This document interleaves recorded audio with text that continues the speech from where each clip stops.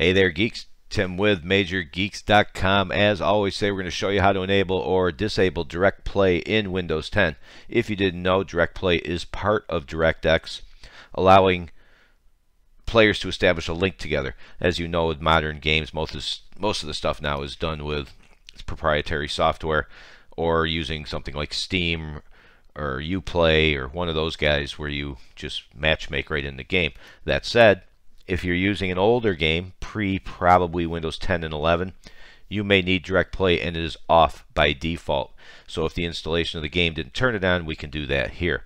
What we're going to do is we're going to start typing features in search, no matter how you get to search, search icon, Windows 10, you might have the bar over here. Everybody can press the Windows key plus S.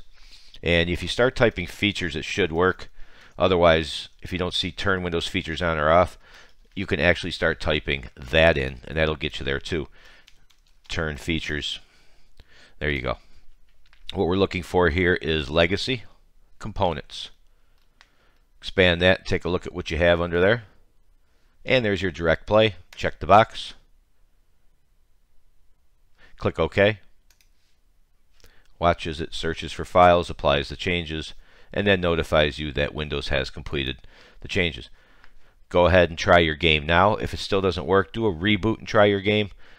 It, it, should work just the way it is, but if it doesn't, that's one other possible troubleshooting problem. And obviously, if you change your mind, we're going to do the exact same thing. Hopefully your search was saved.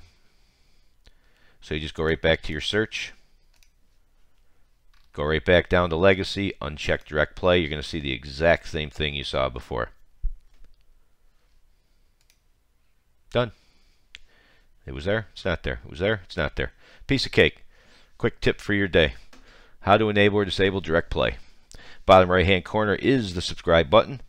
Click like if we helped you out. Thanks for watching. As always, see ya.